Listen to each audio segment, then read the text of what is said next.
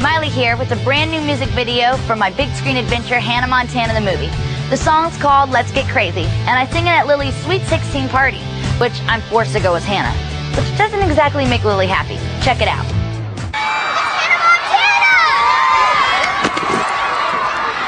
I'm sorry, I had no choice. I'll make it up to you, I promise. You will never, ever, ever make it up to me.